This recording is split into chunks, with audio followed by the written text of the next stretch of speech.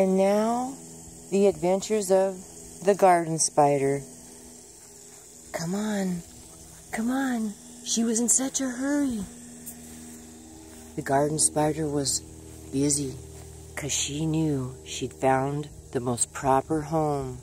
She remembered that it was safe to call the tomato patch her home, even though last year she was over by the strawberries.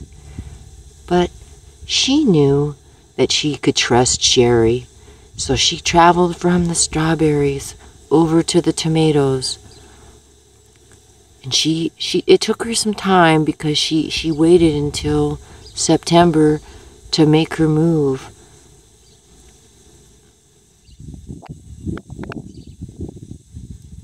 And so today, the lovely garden spider has introduced herself and shown Sherry that she's the new guest. Yep. What did you think about that, Owen and Lola? You like the little spider? And all the other guests that are watching too. But yeah, this is a lovely little spider. Uh, same kind as last year. She was over there, like I said earlier as, as I was introing. I've been working on my storyline for my children's book, Poem and Flow. I'm putting things together in my mind. Yeah, I haven't started to put it to paper yet, but I'm going to as it gets colder and I don't do much outside.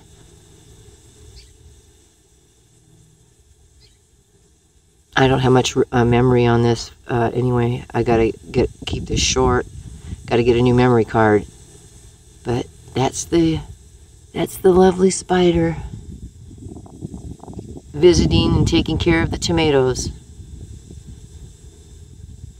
I wish you guys the best day. We got a a big blue day. Yep, a beautiful big blue day.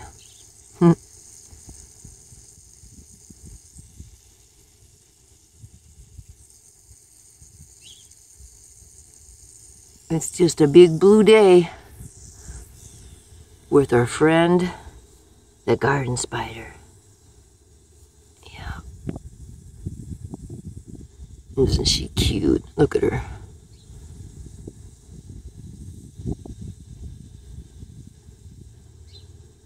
I hope nothing happens to her.